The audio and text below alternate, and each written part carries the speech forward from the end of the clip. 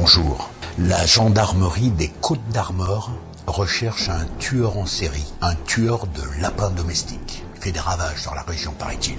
Alors, Coco et moi, on aimerait lui adresser un message. Viens, mec, viens chez moi, viens chez nous. On t'attend. T'as un message à... Vas-y.